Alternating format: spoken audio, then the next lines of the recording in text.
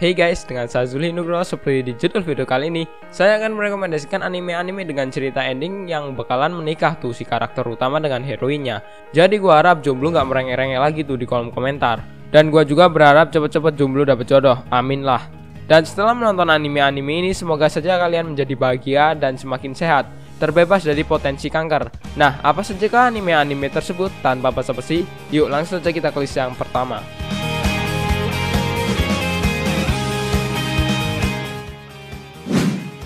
Inuyasha Di masanya Inuyasha merupakan anime long running yang sangat populer guys Selain dengan endingnya yang sangat memuaskan di mana tokoh utamanya menikah sehingga membuat anime ini menjadi anime dengan cerita ending yang tidak biasa Jujur karakter yang paling gua suka di dalam anime ini adalah Kagome karena bagi saya meski hanya manusia biasa, beda dengan manusia di dunia Inuyasha yang memiliki kekuatan, Kagome adalah perempuan yang benar-benar tangguh dan idealis. Dan dia juga sanggup meredam emosi Inuyasha yang selalu bertindak gegabah. Walaupun tergolong anime lama dan jadul bahkan pernah tayang di Indonesia, anime ini masih cocok buat kalian tonton. Apalagi petualangannya yang seru dan penuh dengan pertarungan menegangkan. Salah satu anime dengan unsur romance yang di endingnya bakalan nikah tuh si Inuyasha dengan Kagumi. Sword Art Online Bang, sejak kapan Kirito itu nikah, ha? Uh, tenang dulu, slow guys. Apakah kalian lupa Kirito sama Asuna itu nikahnya dan malam pertamanya itu di dalam game? Please lah gak usah bayangin yang aneh-aneh tentang malam pertama Kirito. Oke, karena kita nggak bakalan bahas itu. Sebenarnya menikahnya itu tidak di endingnya sih guys, tetapi masih gua ambil konsep menikahnya saja. And well, walaupun menikahnya itu di dalam game, tetapi sensasi yang dihadirkan di game itu sudah sampai ekspektasi menikah sungguhan guys. Dari yang awalnya itu membeli rumah, hidup bersama, bahkan sampai ada seorang AI yang menganggap mereka berdua itu seperti orang tua. Jadi fix udah kayak nikah beneran tuh dan punya keluarga. Dan yang pasti itu membuat Jonas demen dengan anime ini.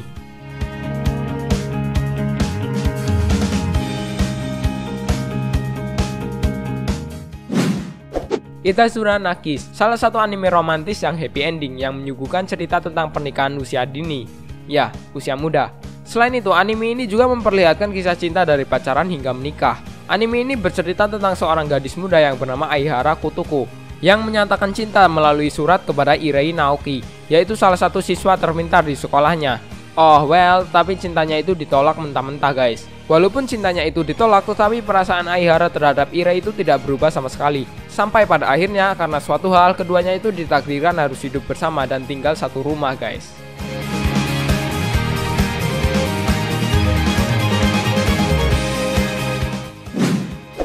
Amagami SS Sedikit berbeda dengan anime romance happy ending yang seperti tadi saya sebutin, karena karakter utama anime ini menjalin kisah cinta dengan wanita yang berbeda setiap artsnya. Anime ini memiliki 8 arts dan hanya ada dua kisah yang berakhir dengan pernikahan. Anime ini bercerita tentang pemuda yang bernama Tachibana Junichi, yang trauma dengan cinta akibat patah hati dengan gadis yang dia sukai 2 tahun lalu. Well, tetapi sekarang dia ditakdirkan mengalami cinta dengan beberapa gadis cantik. Cakep nih anime dengan konsep seperti Seiren namun lebih baik atau malah bisa dikatakan seniornya Seiren.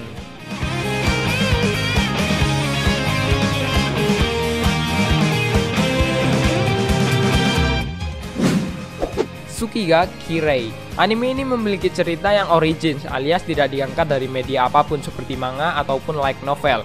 Bercerita tentang Akane Mizuno, seorang gadis yang baru saja naik kelas 3 SMP Ingat ya, kelas 3 SMP saat pertama kali masuk ke kelas baru, ia bertemu dengan karakter yang bernama Kotaro Azumi. Rupanya mereka berdua ini saling menyukai satu sama lain. Namun Akane maupun Kotaro sama-sama pemalu dan dua-duanya itu juga polos dan tidak tahu apa-apa soal bagaimana memulai sebuah hubungan ala-ala remaja LPG gitu guys. Konflik-konflik yang dihadirkan di dalam anime ini di setiap episode memang terbilang ringan namun berat. Hah? Maksud gua ringan namun berisi. Intinya singkat di dalam cerita anime ini adalah sebuah proses remaja yang sama-sama polos dan pemalu untuk memulai pacaran guys.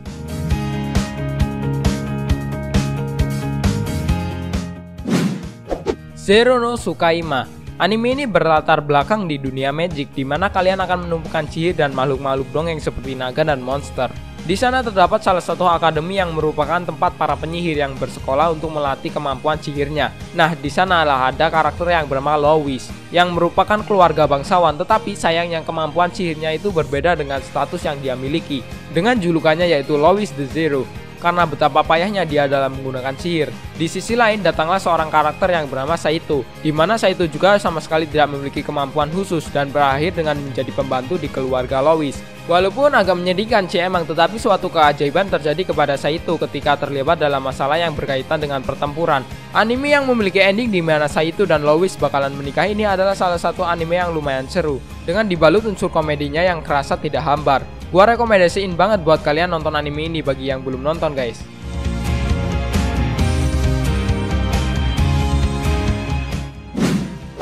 Bakuman, anime yang berkonsep perjuangan tokoh utama untuk mendapatkan gadis pujaannya ini adalah salah satu anime di mana endingnya bakalan nikah nih. Menceritakan seorang anak yang bernama Moritaka Mashiro yang memiliki keinginan besar untuk menjadi seorang mangaka seperti pamannya ini.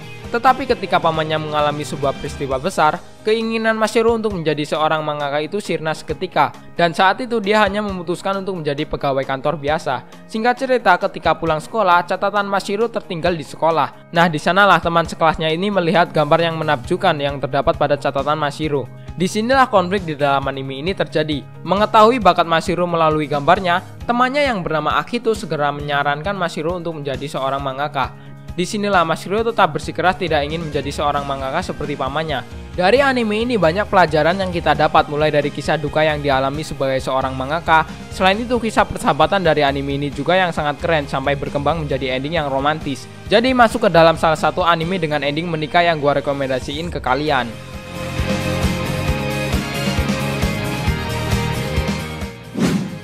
The Last Naruto The Movie Cerita yang mungkin kalian bisa tebak dari awal menonton anime yang populer banget ini. Siapa yang tidak kenal dengan Naruto, seorang bangsa sayan yang menetap di Indonesia dengan kekuatan gomu-gomu dan menjadi salah satu harem king akibat buku yang dia temukan yaitu Death Note.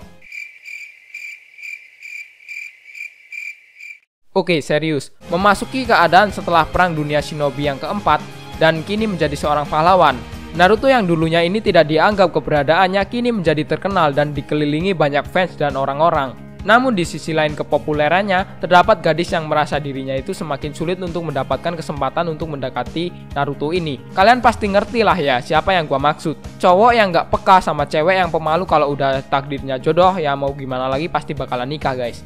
Jadi buat kalian yang jodoh yang mengaku kurang peka atau pemalu, kalau udah jodoh mau gimana lagi pasti tetap bakalan jodoh guys. Mungkin cuma di movie ini cerita Naruto lebih fokus ke hubungan Naruto dan Hinata. Dan untuk endingnya sudah jelas kalau Naruto itu bakalan menikah dengan Hinata.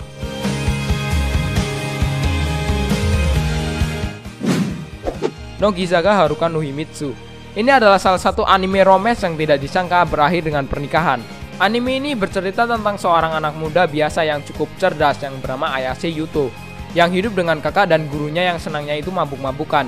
Cerita di dalam anime ini lumayan menarik guys. Ketika ayah si Yuto ini tanpa sengaja mengetahui rahasia gelap salah satu siswa paling kaya dan disegani di sekolahnya yang bernama Nogisaga Haruka yang ternyata sebenarnya dia adalah seorang otaku.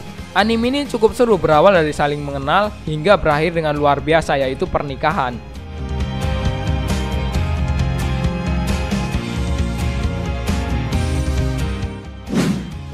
Clanat Series Jujur dari semua anime tersebut banyak yang menyukai anime ini. Cowok yang menonton anime ini sampai nangis apalagi cewek. Clanat adalah salah satu anime yang mengisahkan kehidupan sehari-hari serta permasalahan dalam sebuah hubungan. Sedangkan Clanat After Story tidak hanya mempermasalahkan mengenai keluarga saja, di sini ada juga masalah-masalah pribadi setelah lulus SMA. Pendapat gua untuk anime ini sama seperti penonton-penonton lainnya. Clanat After Story memang lebih menyentuh dan lebih-lebih ke segala hal guys. Cerita anime ini memberikan kisah yang menakjubkan dan akan membuat kalian meneteskan air mata.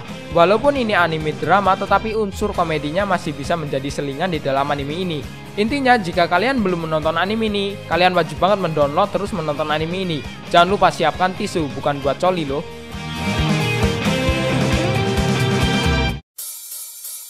Nah itulah anime-anime yang memiliki ending karakter couple-nya bakalan menikah. Manakah anime-anime yang menurut kalian itu seru atau wajib kalian tonton? Tulis ya di kolom komentar. Gua akan bahas sedikit tentang akun Phil. Ingat ya akun Phil itu belum pulih dan entah bakalan bisa balik apa kagak. Gua belum tahu. Jadi jika kalian menemukan akun Instagram yang bernama forum Ecchi Lovers, berarti itu fake atau palsu guys. Karena yang mengurus akun Phil tersebut bukan kita bertuju, melainkan orang lain. Udah cukup sih itu doang yang gua sampein. Intinya kalau kalian menemukan akun V lain itu palsu guys. Oke, seperti biasa, thank for watching this video. Saya user Neko Boy diri. Sampai jumpa di next episode.